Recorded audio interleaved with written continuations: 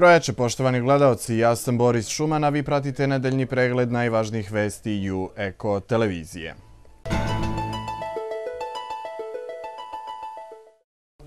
Od marta sljedeće godine pacijenti će samo sa zdravstvenom knjižicom podizati lekove u apotekama, najavio je u Subotici ministar zdravlja Zoran Stanković.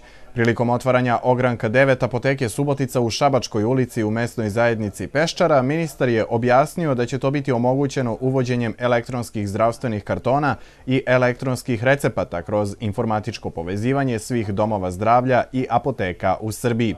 Do tada stanovnici Peščare će imati mogućnost da lekove preuzimaju odmah nakon pregleda, jer se novootvoreni ogranak apoteke Subotica nalazi u zgradi ambulante Doma zdravlja. Prodajom imovine preduzeća Zorka Klotild, apoteka Subotica morala je zatvoriti svoj ogranak koji se nalazio u sklopu zgrade predviđene za rušenje. Građani Peščare su negodovali jer su ostali bez apoteke u relativnoj blizini. Stoga su podneli inicijativu da se ogranak apoteke otvori u njihovom naselju u sklopu zgrade ambulante. 11 meseci kasnije njihova ideja je zaživela, a iz gradskog budžeta za ove potrebe izdvojeno je 300.000 dinara uz e, jedno obećanje koje smo tada dali rukovodstvu mjesta zajednice i ljudima koji su izrazili svoju zabrinutost zbog novih okolnosti, danas možemo ovde da vidimo da reč koja se da u gradskoj kući još uvijek ima svoju težinu i vredi i dalje i prema građanima i prema korisnicima vaših ustanova. Vama čestitam i nadam se da će ovaj objekat uspeti s obzirom da verovatno izlazi iz okvira racionalnosti, ali da će uspeti u svom radu da makar pokrije one osnovne troškove koje će apotekarska ustanova imati. Ministar Stanković nije krio zadovoljstvo što će građani mesne zajednice Peščara od danas imati priliku da na jednom mestu odmah nakon pregleda dođu i do lekova. S tim u vezi ministar Stanković je najavio informatičko povezivanje svih domova zdravlja u jedinstven informatički sistem do marta 2012. godine. Tako će za svakog pacijenta biti formirani elektronski kartoni sa istorijama bolesti i propisanim terapijama što će omogućiti da pacijenti po lekove u apoteke dolaze samo sa zdravstvenom knjižicom i identifikacionim brojem i neće morati da čekaju na ispisivanje recepata. Na taj način bolestnik više neće imati one probleme koji podrazumeju pisanje recepata, nošenje papira, već je samo sa zdravstvenom knjižicom i sa svojim identifikacijonim e, delom ili identifikacijnim brojem dolaziti u apoteke i podizati propisane lekove. Ministar zdravlja obavio je u gradskoj kući razgovore sa gradonačelnikom Subotice Sašom Vučinićem, gde je bilo reči o budućim ulaganjima u zdravstveni sistem grada. O tome kako funkcionišu ranije investicije njegovog ministarstva u Subotici, ministar Stanković se uverio u obilasku opšte bolnice Subotica. Park prirode Palić, koji se nalazi pod zaštitom grada, uskoro bi trebalo da se nađe pod novim režimom zaštite. Reč je o reviziji postojeće zaštite Parka prirode Palić, koja će se usaglasiti sa postojećom zakonskom regulativom u skladu sa stanjem prirodnih vrednosti. Pored toga, treba da se novi režim zaštite uskladi i sa potrebama upravljanja resursima, kao što je održavanje kvaliteta vode. Ovako izgledaju trenutne granice Parka prirode Palić. Predlogom novog režima zaštite predviđeno je da se u drugom sektoru, koji je bio u prvom stepenu zaštite, što znači da se po zakonu o zaštiti prirode isključuju mogućnosti intervencije čoveka, stavlja u drugi stepen zaštite, kako bi mogao da vrši svoju osnovnu funkciju poboljšanja kvaliteta vode. Na ovaj način će se poboljšati realizacija svih mera koje su neophodne za uspešno upravljanje kvalitetom vode. U prvom stepenu zaštite ostaju samo ptičje ostrva, u drugom sektoru, koje su od značaja za gnežđenje ptica. Mi moramo naći jedan kompromis između e, izgradnje, e, izgradnje sanacije, isto tako i očuvanja e, naših prirodnih vrednosti, redkosti i očuvanja biodiverziteta. Revizijom je predviđeno i da se pojedini delovi u četvrtom turističkom sektoru, koji su bili u trećem stepenu zaštite, a na kojima se nalaze značajne prirodne vrednosti, prelaze u drugi stepen zaštite. Tu se misli na tršćake velikog i malog pojla, Tapšin kanal, kao i deo velikog parka koji je od značaja kao sklonište za faunu. Na ovaj način se zaštita pojačava kao ekološki koridori ka Subotičkoj peščari i Ludaškom jezeru, a stepen zaštite smanjuje na delovima gde su za održavanje kvaliteta vode neophodne aktivne intervencije, kao i na delovima gde bi sprovođenje zaštite bilo komplikovano ili izazvalo konflikte. Pored toga, neophodno je očistiti jezero Palić. E, izrada projekta je pri kraju, e, znači projekta koji bi omogućio trajno rešavanje problema i kvaliteta voda Palića, jer vi prosto ne možete razvijati turizam e, tako što će neko doći i neći na tablu zabranjeno kupanje. E, taj problem moramo trajno rešiti i na tome se radi. Postojeću odluku o zaštiti Parka prirode Palić usvojila je Skupština opština Subotice 1996. godine i Pokrajinski zavod za zaštitu prirode trenutno radi na izradi nove studije o zaštiti. Nakon izrade ove studije, grad treba da donese novu odluku o zaštiti Parka prirode Palić. Ukoliko sve bude teklo po planu, pred odbornicima grada nova studija zaštite trebalo bi da se nađe za šest meseci. Park prirode je treća kategorija zaštite u kategorizaciji zaštićenih područja, odnosno prirodno dobro od lokalnog značaja, tako da je stavljanje pod zaštitu u nadležnosti grada.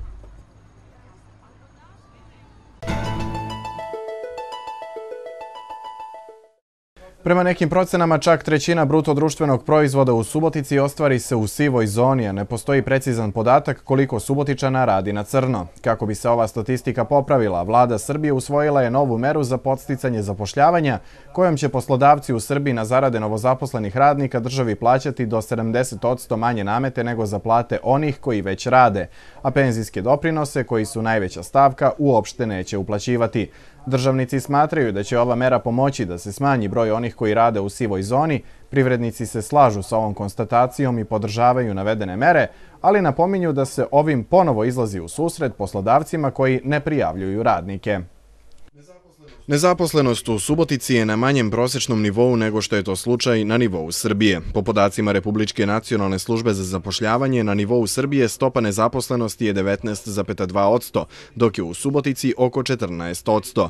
Na evidenciji lokalne nacionalne službe za zapošljavanje nalazi se oko 11.000 nezaposlenih, a po procenama službe njih oko tri četvrtine na evidenciji se nalazi zbog potrage za poslom. A dodatni problem predstavlja činjenica da veliki broj ljudi hleb zarađuje u sivoj ili crnoj ekonomiji. Stoga je vlada Srbije donela set mera kako bi pokušala da veći broj tih ljudi bude legalno zaposlen.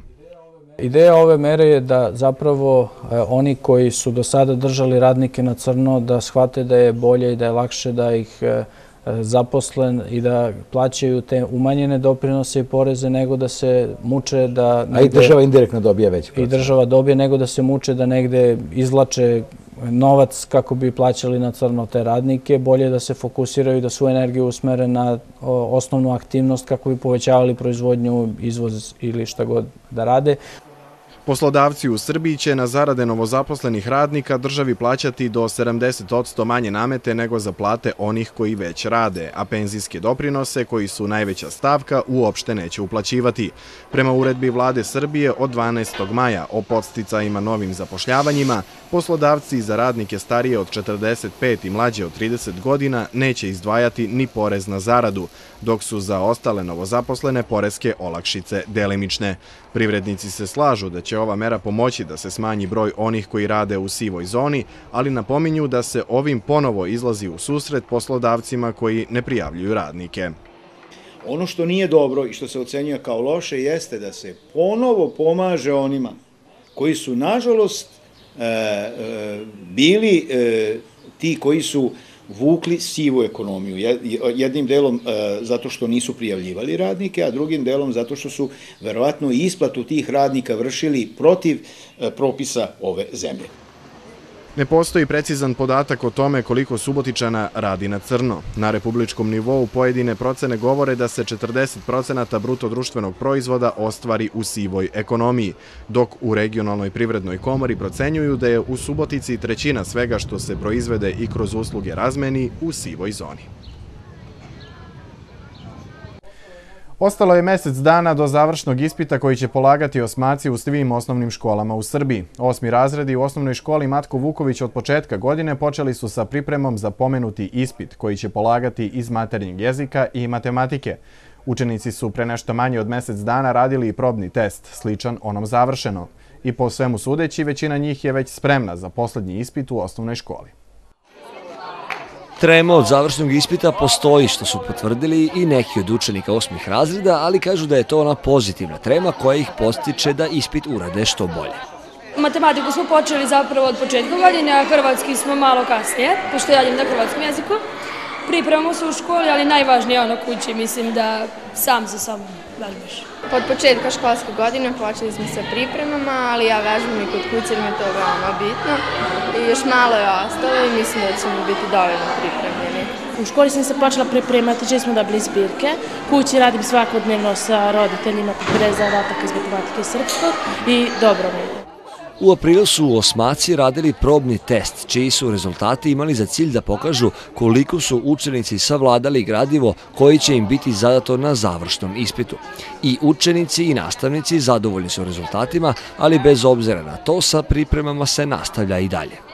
Naravno, te pripreme su sad intenzivnije. E, deca se pripremaju kako u školi, tako i kod kuće. E, pripreme će također se nastaviti i posle 11. juna, posle, odnosno sada 30. maja, obzirom da oni završavaju već ove nedelje. Recimo da su spremni, ali imaju još neko vreme da se pripremaju.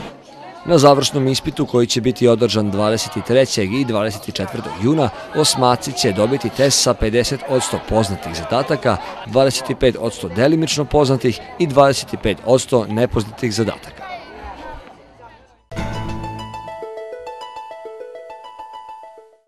Na graničnom prelazu Horgoš postavljena je najsavremenija oprema za kontrolu robe. Mobilni kamion uvezen je prošle godine iz Kine, a omogućit će brže i sigurnije carinjenje, sprečavajući krijumčarenje i suzbijajući kriminal.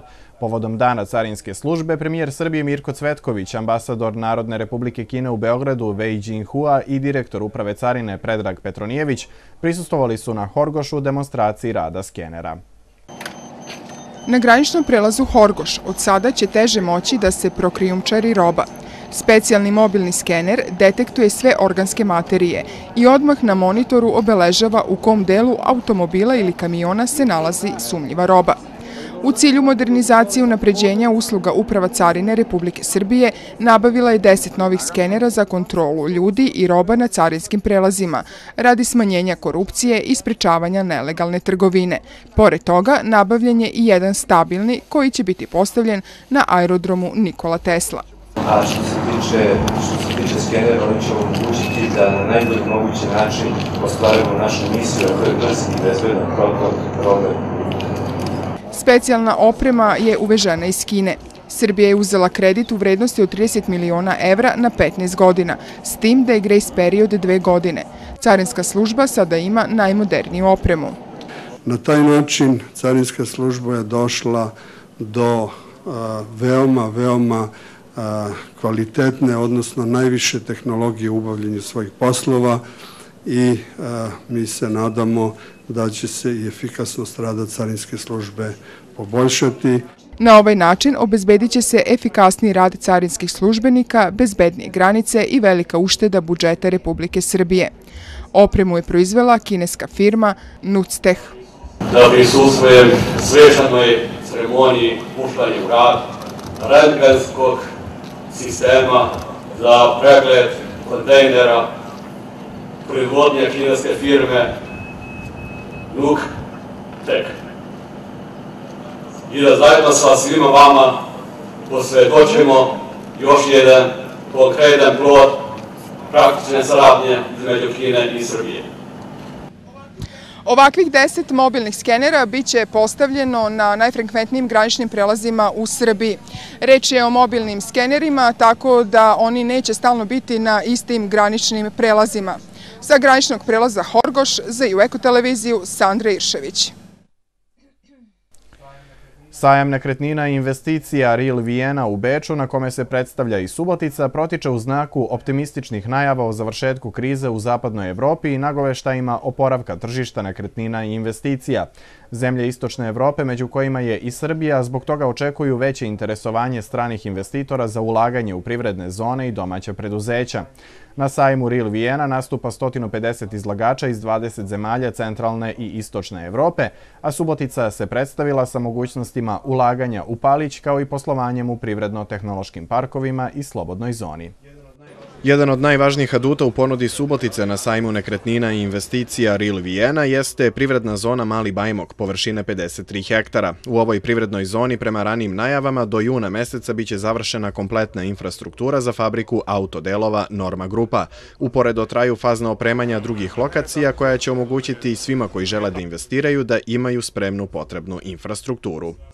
Za razliku od prošle godine, ove godine imamo proizvod.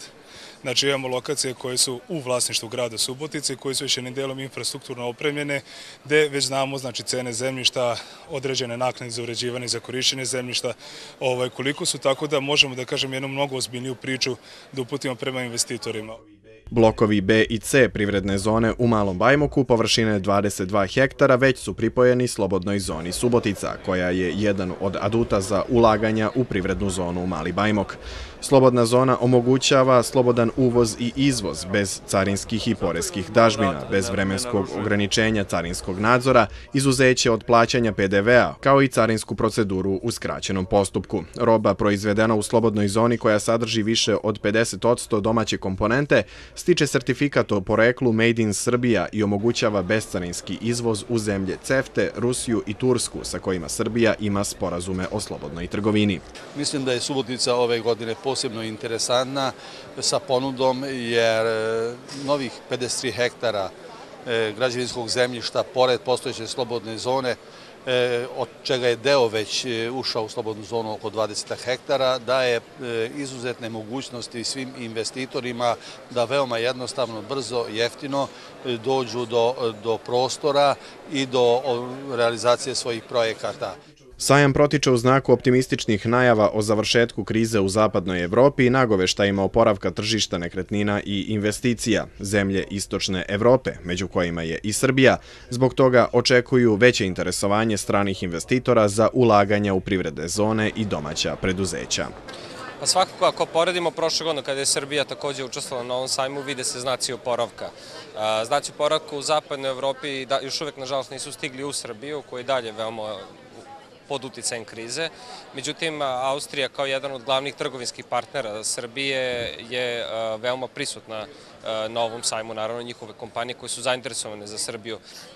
Interesovanje se sada kreće od toga razvoja znači, tržišta nekretnina, zatim hotela, ali i investicije u proizvodnju svakako. Na sajmu nastupa 150 izlagača iz 20 zemalja centralne i istočne Evrope. Potencijali Subotice predstavljeni su na štandu Agencije za strana ulaganja i promociju izvoza SIEPA. 216 studenta druge godine master studija sa ekonomskog fakulteta, kako sada stvari stoje, moraće da plate overu letnjeg semestra, bez obzira na to što je u decembru prošle godine potpisan ugovor između univerziteta, fakulteta i pokrajinskog sekretarijata za nauku i tehnološki razvoj oko finansiranja ovih studenta. Na fakultetu kažu da su oni njihov deo izmirili i da se iz nepoznatog razloga čeka na sekretarijat za nauku i tehnološki razvoj, koji je dužan da uplati još 8 miliona i 900 hiljada dinara. 30 studenta iz Subotice i nešto preko 180 studenta iz Novog Sada sa druge godine master studija ekonomskog fakulteta dovedeno je pred svršen čin. Iako je bilo najavljeno da će im posljednja godina biti finansirana iz budžeta, svega nekoliko dana pred overu semestra priča je dobila drugačiji tok. U petak, to je preko sutra, bi trebalo da veravamo ovaj leti semestar i tad bi trebalo da platimo prvu ratu 20.000, 21.000 mesečnih dinara treba da platimo sad u petak. Međutim, već smo se dogovorili svi zajedno da to nećemo platiti u petak, jer ne možemo mi tek tako da stvorimo sredstva, pogotovo zato što do pre neki dan nismo uopšte planirali tako nešto da plaćamo. Da ne govorimo o tome da smo stvarno svi jako dobri studenti, da smo dobri predstavnici našeg fakulteta i ovog sistema bolonjskog koji to nalaže i tako dalje.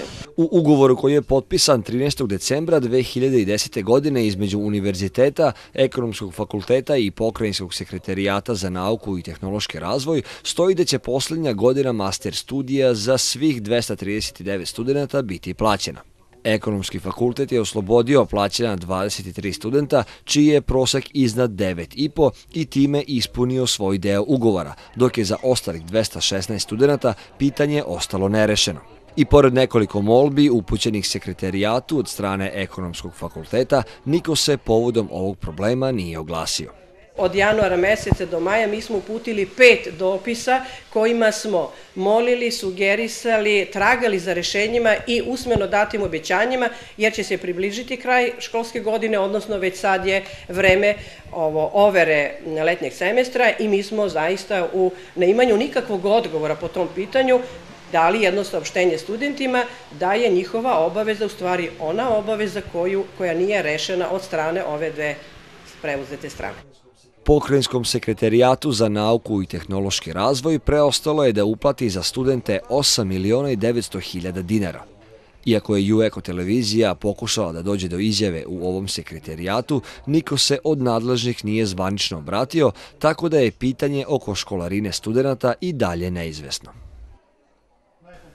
Najpopularnija destinacija i po ponudi i po interesovanju Subotičana ovog leta biće Grčka. U turističkim agencijama naglašavaju da su najčešća putovanja dužine oko 10 noćenja, a cene se kreću od 120 do 450 evra. Turistička inspekcija, pored toga što proverava turističke agencije, građanima preporučuje da pre uplate letovanja provere da li se izabrana agencija nalazi u registru Agencije za privredne registre, da prouče opšte uslove putovanja, programe, obaveštenja i pitaju sve što ih interesuje, a vezano je za letovanje. Najatraktivnija turistička destinacija za turiste i ove godine je Grčka, kako kontinentalni deo, tako i Grčka ostrva, pokazuju analize turističkih agencija. Turisti se interesuju i za letovanje u Turskoj, ali je cena tih aranžmana ove godine skuplja, pa je i interesovanje nešto manje u odnosu na prošlu godinu. Prema istim analizama, najjeftiniji je Egipat, ali tu destinaciju skoro da niko i ne traži, kao i druge severnoafričke zemlje zbog nemira u tom reonu. Nisam baš klasični turist, ali Montpellier je na desetak metara od mora, tako da ne znam, prvi put idem tamo, tako da vidjet ćemo. Evo, idemo u Grčku, znači, otprilike jedno 700 evra. E, ove godine ću da letujem u Grčkoj i ne znam koliko ćemo da potrošimo, zato što ne znam koliko još nismo ništa uplatili. Povoljne cene su osnovni razlog velikog interesovanja srpskih turista za Grčku. U turističkim agencijama naglašavaju da su najčešće putovanja dužine oko 10 noćenja, a cene se kreću od 120 do 450 evra u zavisnosti od toga da li je prevoz autobusom ili avionom. U agencijama navode da je Grčka tradicionalno najatraktivnija destinacija za letovanje, a naročito u predsezoni, maju i junu, jer u tom periodu turisti mogu desetak dana da provedu na moru za 50 do 160 evra. Kao i prethodnih godina, ono što ih najviše interesuje, to je svakako Grčka i letovanje u Grčkoj. Ono što mi imamo u ponudi su deseto, e, aranžmanje na 10 noći, odnosno 11 dana. E, što se tiče plaćanja, mi imamo nekoliko varijanti i uslova e, za naše sugrađane. E, verovatno je situacija generalno takva da nalaže ljudima da se uglavnom upredeljuju za plaćanje u ratama ili na odloženo plaćanje. Turistička inspekcija preporučuje građanima da pre nego što uplate aranžman na sajtu Agencije za privredne registre provere da li se izabrana agencija nalazi na spisku registrovanih, što znači da ima licencu za posao, a zatim da provere njen bonitet. Putnicima se savjetuje da pre ugovaranja putovanja dobro prouče opšte uslove, program i obaveštenje o polisiji osiguranja.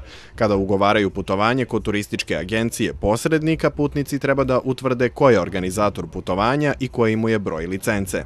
Naime, samo je organizator odgovoran za realizaciju putovanja, a ne posrednik.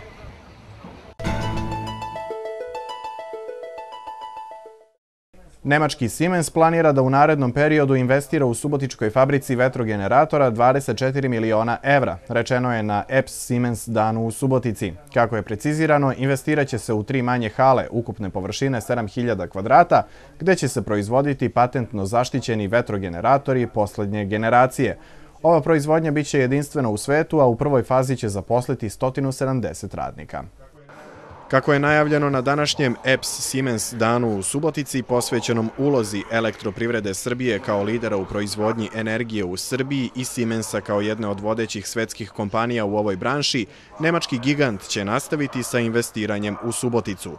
U naredne dve godine Subotička fabrika generatora za vetroelektrane biće proširena na još tri hale ukupne površine 7000 kvadrata. U nove mašine za proizvodnju biće uloženo 24 miliona evra, a biće u prvoj fazi uposleno još 170 radnika. Radi se o proizvodnji nove generacije generatora, patentno zaštićenoj tehničkoj inovaciji jedinstvenoj u svetu.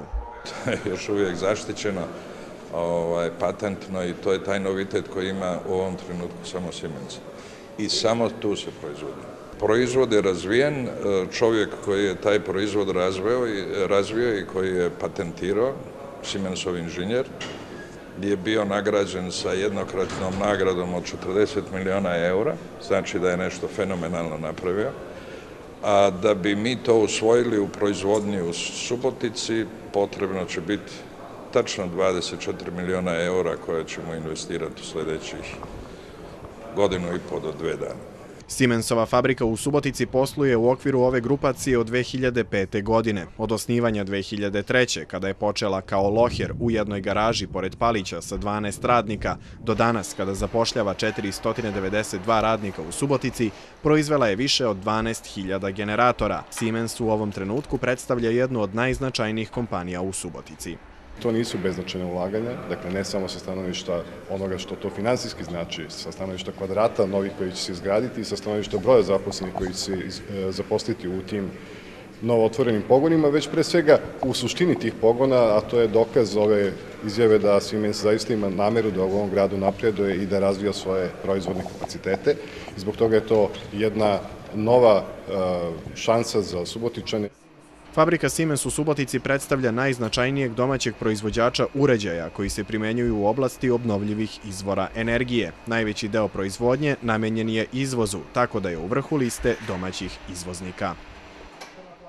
Prema planu detaljne regulacije kojim je obuhvaćeno i naselje Tokio, predviđa se rušenje postojećeg obdaništa i izgradnja novog. Objekat treba da se sruši kako bi se izgradila garaža kapaciteta 400 parking mesta.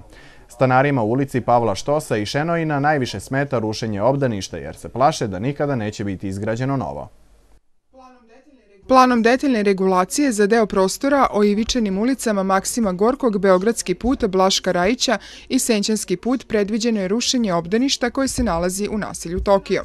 Stanari smatraju da u gradu ima previše započetih investicija koje nikada nisu završene i da bi čelnici trebali da se tim pitanjima pozabave čujem po pričama oko mojih komši, oko građana, da su mnogi eh, protivi, da se neka peticija potpisivala. Ja je nisam potpisivao jer nije došla do mene, ali mislim da ovaj grad ima mnogo započetih velikih, velikih ulaganja i velikih projekata i nijedan nije završen. Pa da počnemo od pozorišta, bazena pa tako nadalje, ja mislim da je sad grehota eh, ulagati u nešto eh, što može da čeka, U Zavodu za urbanizam kažu da prema urbanističkom standardu na 70 metara kvadratnih korisne površine ide po jedno parking mesto. U nasilju Tokio ima 50.602 metara kvadratnih površine i potrebno je 722 parkirališta. Nova garaža bi bila kapaciteta 400 parking mesta, što i dalje nije dovoljno.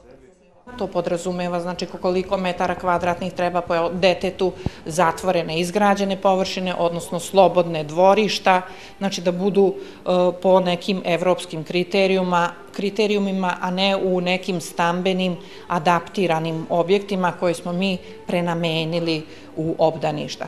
Tako da smo mi ovaj, predvideli planom dve nove lokacije za izgradnju prečkolskih ustanova, E, i moram reći da ovo obdanište se svakako ne bi rušilo dok se ne izgrade ta nova obdaništa. Javna sednica Komisije za planove održat će se sutra u 13 časova u plavoj sali Gradske kuće. Komisiji za sada je predato šest primetbi, od kojih je jedna peticija stanara u mesnoj zajednici Centar 3, koja sadrži oko 500 potpisa, a tri primetbe su podneli građani koji se protive izgradnji garaže.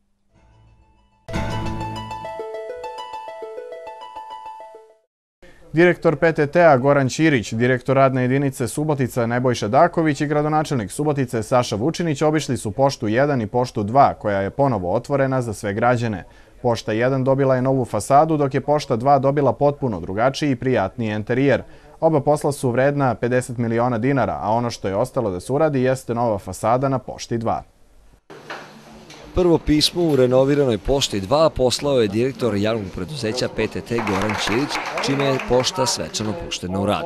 Mnogo prijatniji uslovi kako za zaposlene, tako i za korisnike usluga ovog javnog preduzeća imaju za cilj bolje poslovanje pošte kao i zadovoljne korisnike.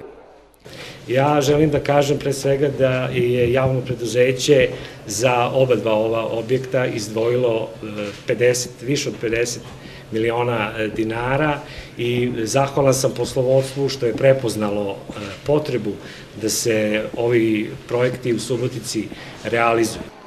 Na rekonstrukciji pošte 2, kao i na obnovi fasade na pošti 1, učestvovala je lokalna samouprava, odnosno Zavod za zaštitu spomenika, Direkcija za izgradnju grada i služba za građevinstvo. Nova aktivnost javnog preduzeća PTT i lokalne samouprave već je najavljena na stogodišnicu Dužijance. Aktivnost koju ćemo vrlo uskoro obeležiti, a to je izdavanje poštanskih marki sa motivima Dužijance povodom 100 godišnjice Dužijance i ono što, ako direktor ne zameri, ja bih već najavio, da je postignut jedan dogovor da naredne godine u skladu sa 100 godina završetka gradske kuće takođe dobijemo priliku da na neki način trajno uđemo u istoriju ove zemlje time što ćemo se pojaviti i na poštanskim markama.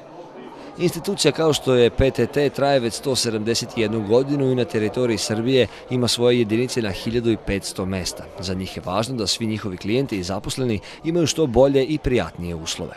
Ukupno podizanje estetskog pristupa i u arhitekturi, i u eksterijeru, i u interijeru može da doprinese boljoj usluzi, prvo boljem osjećaju naših upošljenih koji zaslužuju prave humane uslove za rad, ali ćemo, što je najvažnije, na takav način pružiti i pravu uslugu svim našim korisnicima koji će imati i klimatizovane prostorije i čiste i, nadam se, više i češće osmeha sa druge strane šaltera, a siguran sam da ih je bilo i do sada. Delegacija je obišla i poštu 1 u Prvomajskoj ulici u kojoj je urađena nova fasada i koja je nakon završenih radova dobila novi prijatniji izgled.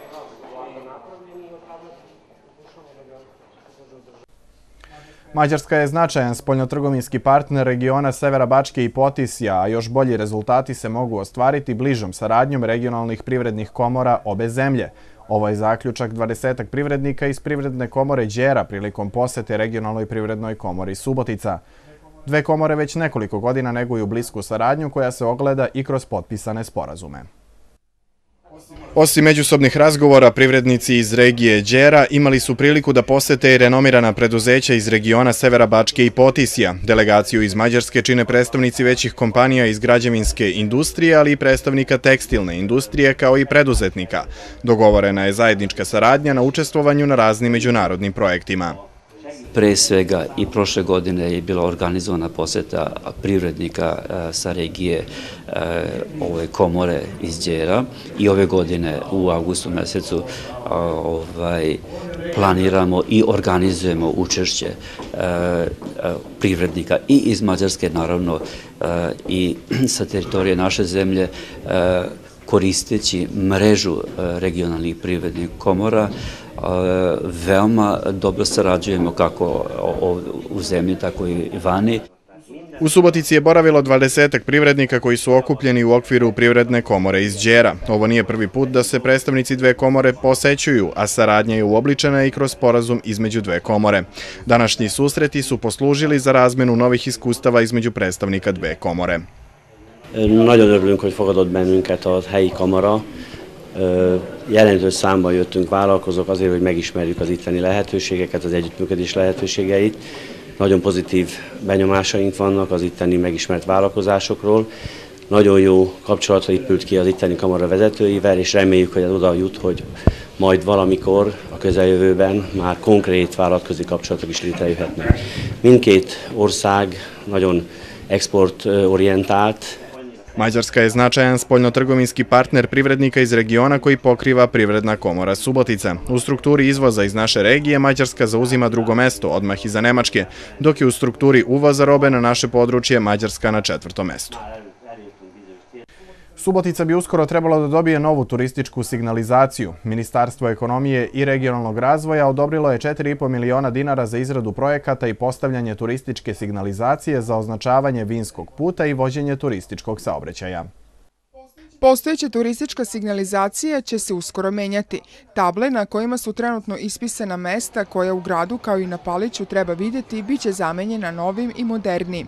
Subotičani se slažu da u gradu nema dovoljno turističke signalizacije. Možda ovdje u centru grada eventualno imamo, ali baš samo u ovom užem centru grada.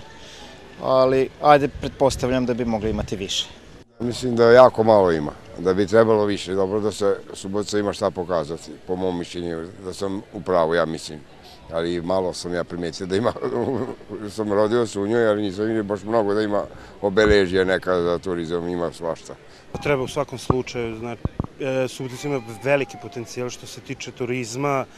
E, po meni nije samo Palić nešto što treba da se forcira, znači tu su masa salaša naokolo, kelebija. U turističkoj organizaciji Subotice kažu da se na projektu i postavljanju signalizacije već uveliko radi. Informacijone table biće postavljene na više lokacija i biće ispisane na srpskom, mađarskom, hrvatskom i engleskom jeziku.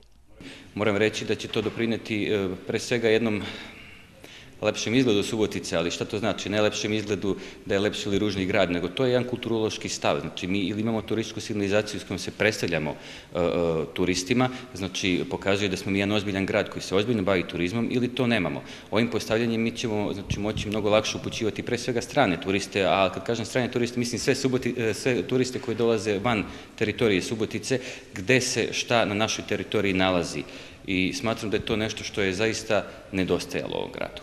Postavljanje nove turističke signalizacije u gradu trebalo bi da olakša snalaženje posetiocima Subotice.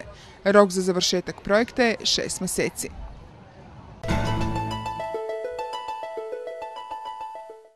Bilo bi to sve što smo pripremili za ovo izdanje nedeljnog pregleda najvažnijih vesti. Ostanite i dalje uz program U Eko Televizije. Prijatno večer.